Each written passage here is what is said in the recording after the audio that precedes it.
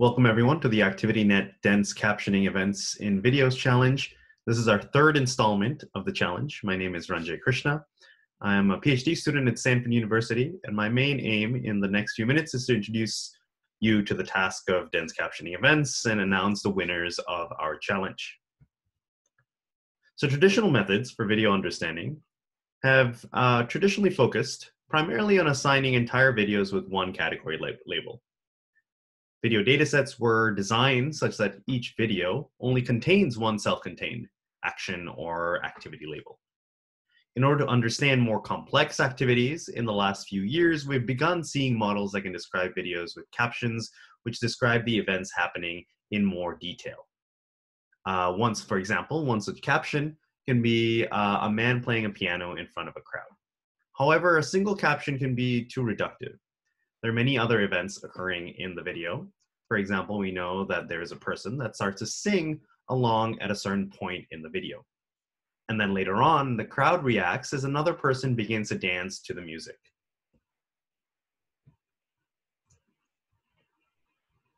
In order to capture and reason about the complex and often co-occurring events in a video, we introduced the task of dense captioning events and videos in 2017.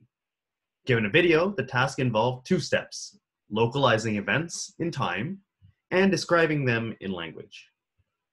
Our task was motivated by findings in neuroscience, which found that people tend to segment videos into consistent groups or segments, implying that there is a commonly accepted beginning and end to events. And if people can detect these boundaries, we should also be able to train models to do so as well. Tr to train models to accomplish this task, we introduced the ActivityNet Captions dataset, consisting of 20,000 videos with over 100,000 sentences. Each of the sentences were temporally localized, with an average of 3.6 sentences per video and 13 words per sentence. We designed our annotation tasks to encourage consistent segmentations and found that our events encompassed about 94% of the videos. At the time of our release, our dataset was the only video dataset with temporally localized overlapping events.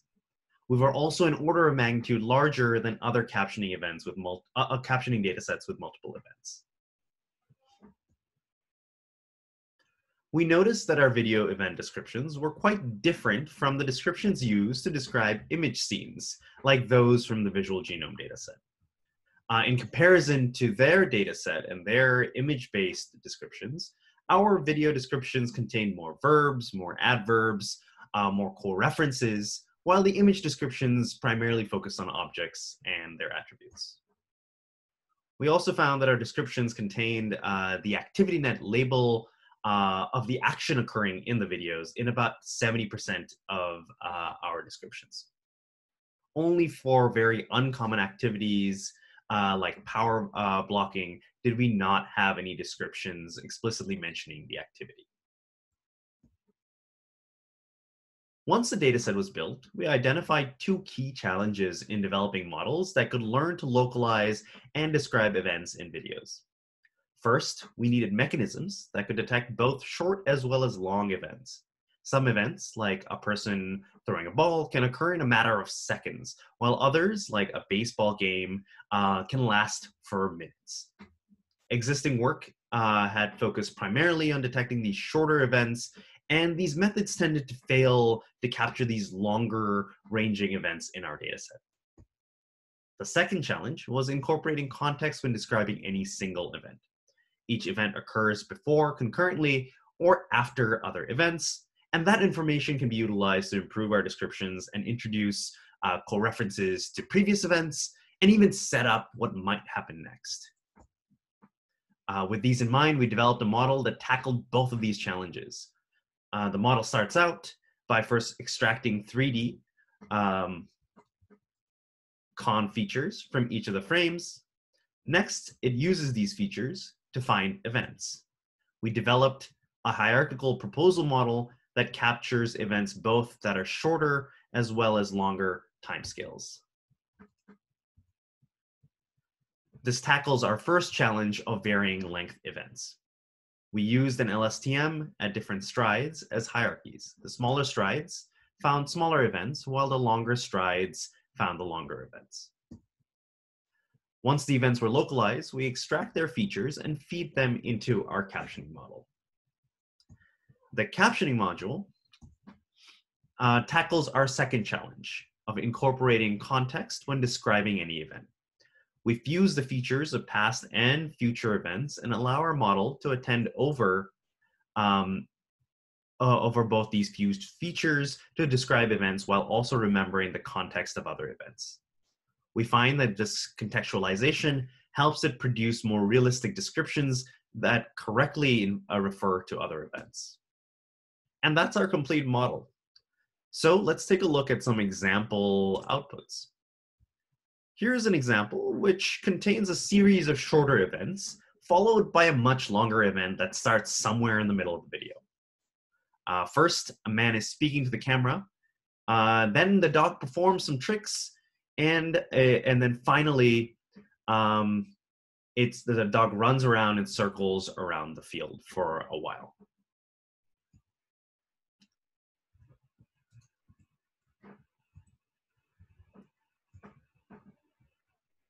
And here is another event in our uh, uh, another data set uh, output um, from our model. So these are captions generated for a specific type of video that commonly occurs in our data set, uh, which is the instructional video. In instructional videos, events occur in sequence one after another.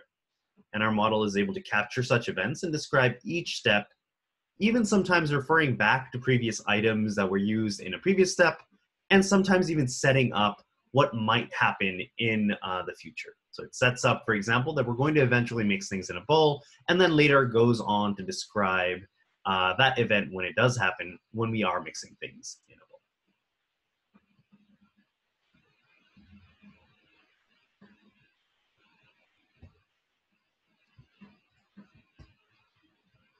Since 2017, a number of follow-up works have built upon both our models as well as our dataset. And let me mention a few highlights. Uh, the ActivityNet and Entities dataset expands upon our ActivityNet Captions dataset and adds grounding for objects in the video that are references uh, to uh, referenced in the descriptions. This allows for joint object as well as event localization.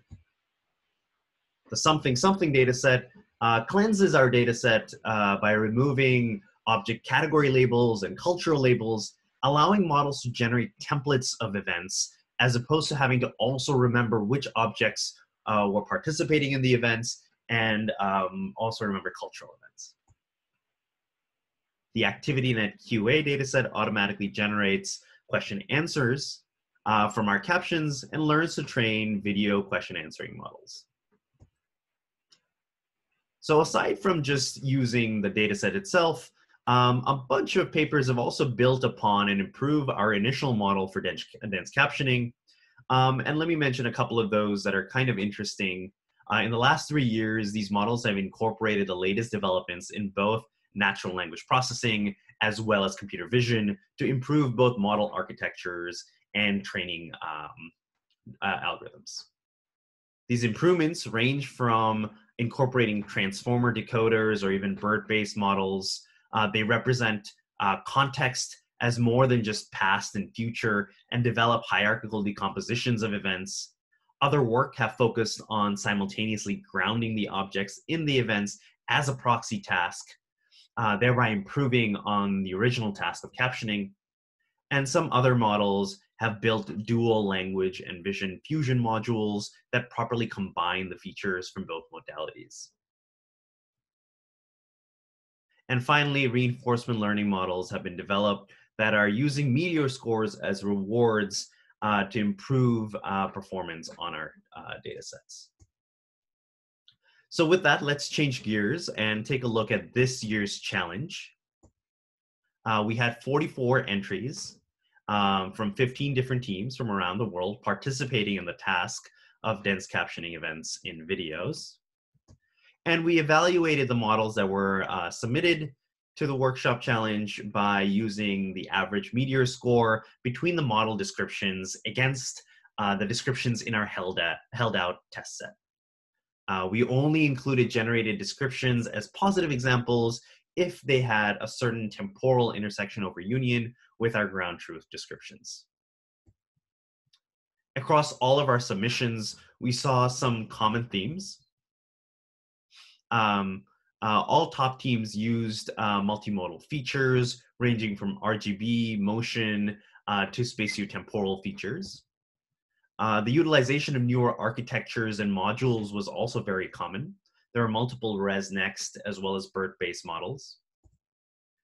There were also uh, newer bidirectional single stream temporal action mod localization modules that were used, and a lot of the top teams also utilize pointer networks when generating captions.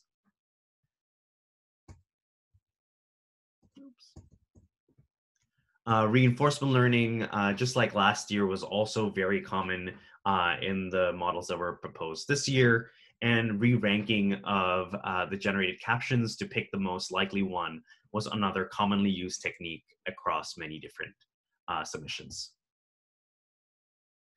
In the future, I expect uh, and hope to see more models that utilize uh, subword uh, tokenization to improve captioning with rarer words.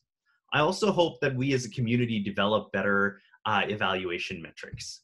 We have known for many years now that Meteor, CIDEr, and these other n-gram based evaluation metrics do not correlate well with human judgment.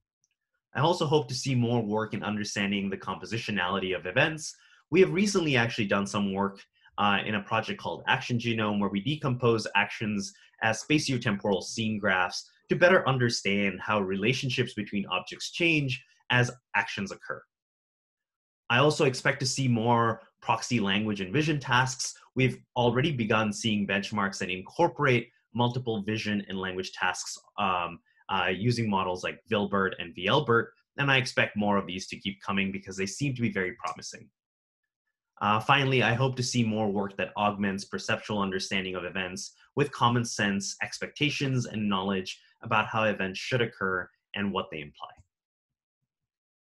Back when we released the model, our model performed at about uh, a 4.82 average meteor score. And uh, this year, the third place team from uh, called ByteDance already doubles uh, that score to 8.59. Our second place goes to a team from SYSU with a score of 9.28. And our winners are from uh, Renmin University with a score of 9.89. Next, I will ask the winners of the challenge to speak to us about their model and how they went about designing the winning algorithm.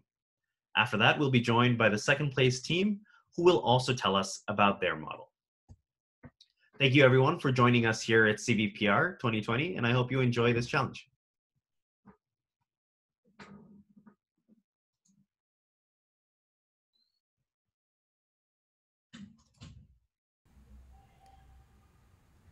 Hi everyone, my name is Yuqing Song. I will present our work exploring sequential events detection for dense video captioning. This is joint work with Shizhe Chen, Yida Zhao, and Qin Jin. We are from Renmin University of China. This is the outline of the presentation. I will first introduce the task and then describe the two main modules of our system, including the event sequence generation module and event caption generation module. In the end, I will make a summary of our work. As shown in the figure, the dense video captioning task aims to describe an untrimmed video with multiple sentences. It needs to detect meaningful events in the long video and generates descriptions for each event. Therefore, the event detection is vital to the informative caption generation.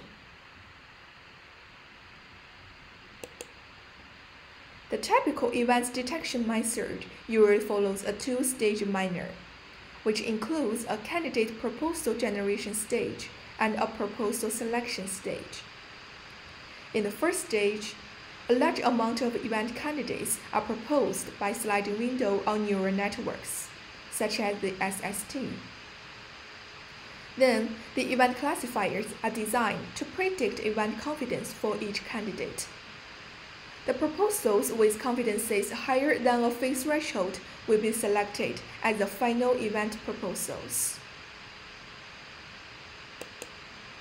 Such two-stage miner has two drawbacks. First, it needs to generate enough candidates to ensure covering all possible events and the amount is usually about 1000. Hence, it is not efficient and computationally expensive. The second problem is that the temporal relationships between the events are not considered in such methods. As a result, it may lead to select events with high redundancy. Actually, we found the descriptive events in a video are highly temporal related. They usually follow some temporal orders as shown in the figure. There are mainly three types of temporal orders in the ActivityNet dataset. The first is the sequential order, where the events are one after another, maybe with some small overlap.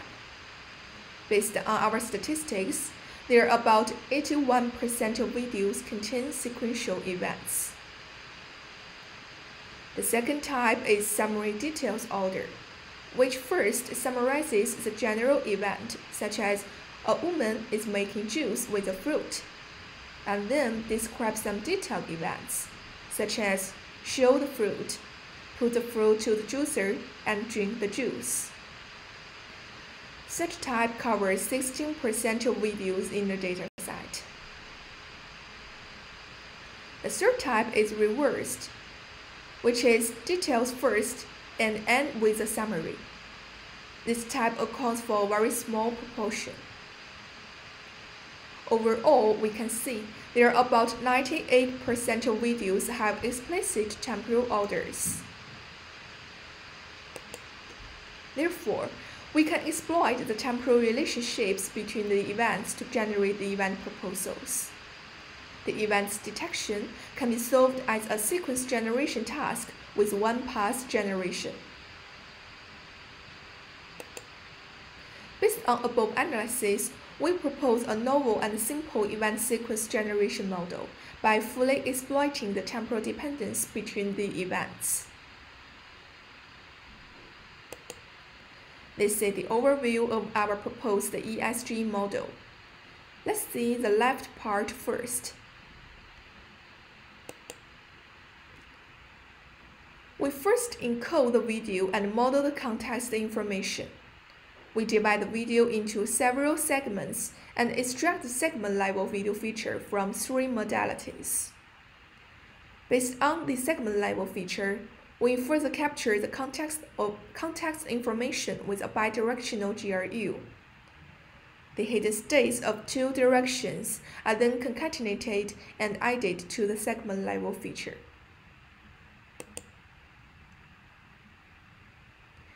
With these context-aware features, we can generate the event sequence step by step. We first represent each event with a t-dimensional binary vector ei. Each value of the vector xi denotes if the corresponding segment included in the event. We introduce two special events, the special start event and special end event, and denote them with all their rows vector. We use a GRU as the event decoder and initialize it with global video feature. At each decoding step, we feed the previous event to the decoder and predict the current event distributions over the whole video timeline. The period where predict probabilities over 0.5 forms the generated event. In such a way, we can generate the event one by one until the special end event is generated. However, in such forward parse, we only generate the event sequence depending on previous event's information.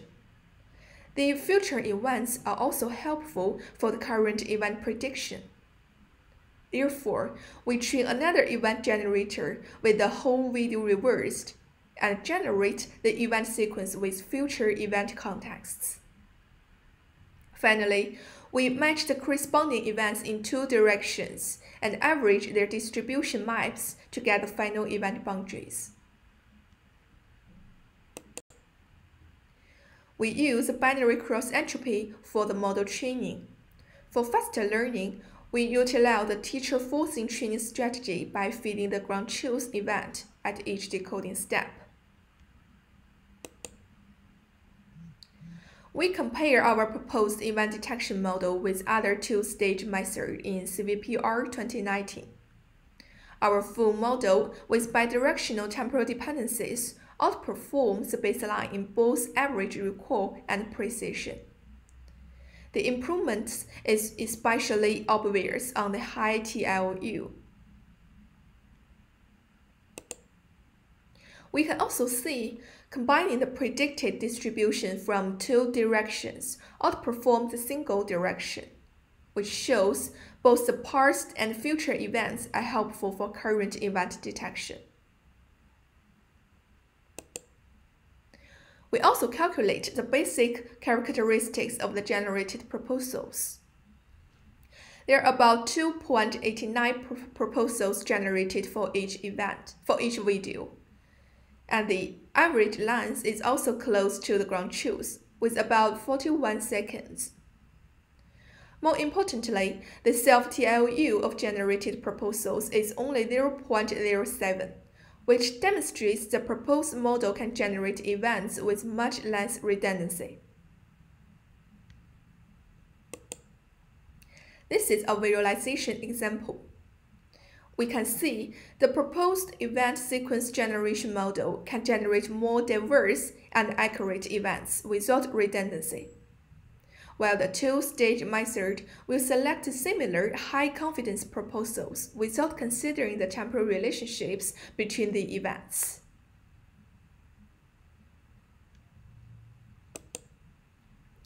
While above is about the event detection. With the generated event proposals, we next generate descriptions for each event.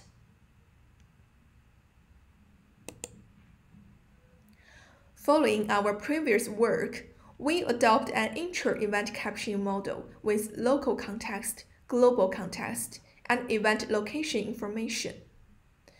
For the decoder, we use a two-layer stacked GRU. More details can be found in our report in this year and the last year. Since the precision of events is vital to the final performance, we combine the proposals with our previous work and re-ranking them with the same strategy in the last year. For the caption, we train a video semantic matching model to re-rank the generated captions and select the best caption for each event. We train the captioning model with cross-entropy loss and fine-tune it with the self-critical reinforcement learning algorithms. Training with METEOR reward makes a huge improvement on the METEOR metric for both ground truth proposals and the generated proposals. And the caption re-ranking is also beneficial to achieve better performance. In the final summation, we enlarge the training set with 80% of the validation set, and finally achieves 9.89 METEOR on the testing site.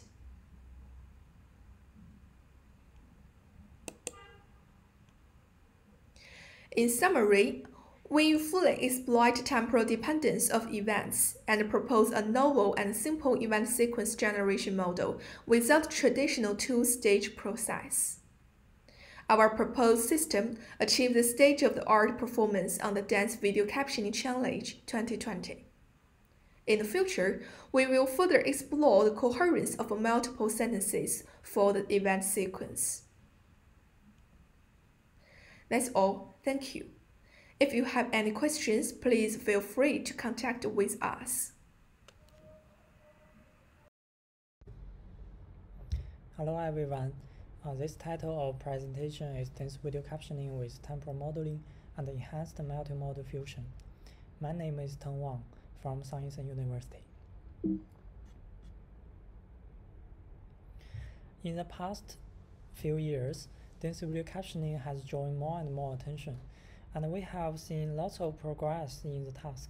Dense video captioning aims to describe an untrimmed video by several sentences with their locations.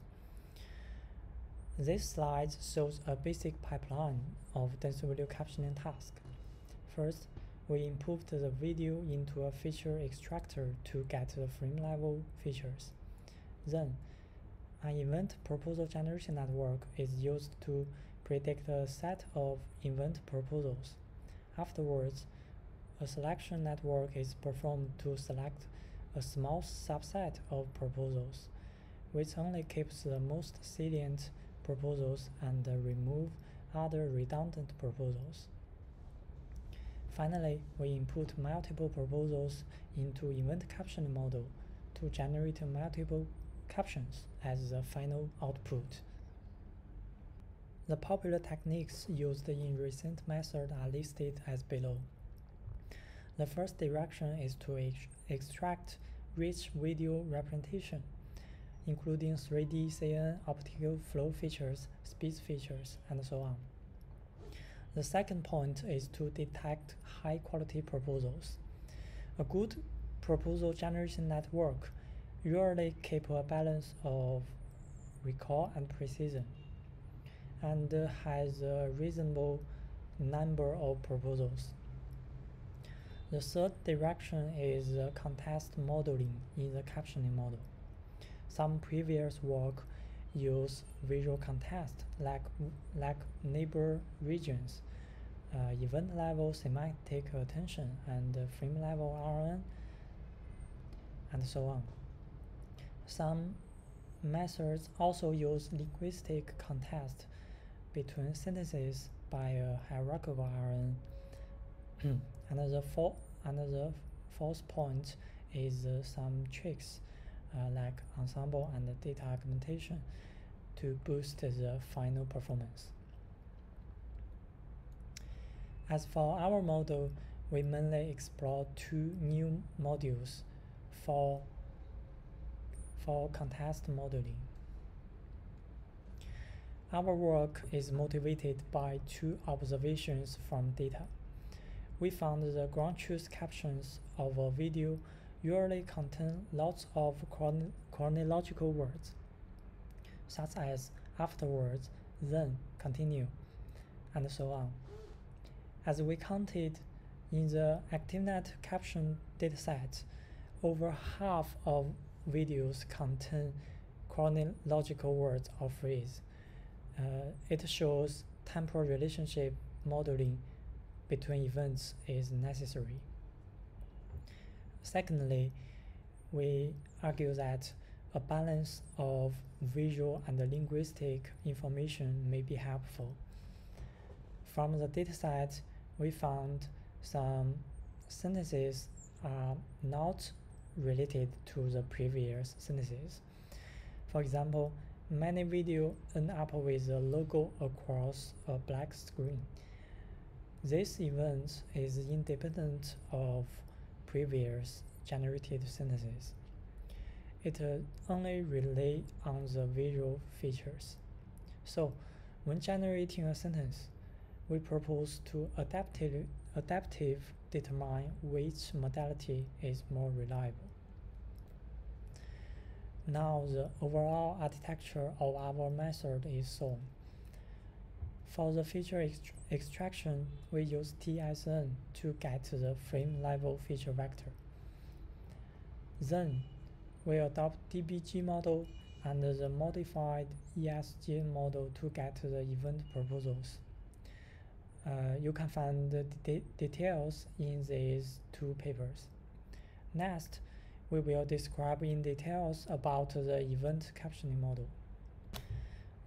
The first step is to encode visual features by TSRM, Temporal Semantic Relation Module.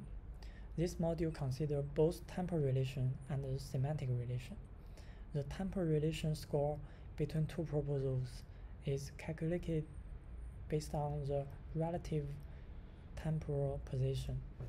And uh, the semantic relation score is calculated based on the feature similarity of two proposals. Once getting the two types of relation scores, we fuse them by addition. The output feature of target event is obtained by the weighted summation of all input e events. In this way, we can obtain the relational feature for each event. Next step is to decode the visual representation into test modality. Uh, we use a hierarchical decoder, which is composed of sentence RNN, a word RNN, and a CMG, cross, cross-modal gating block.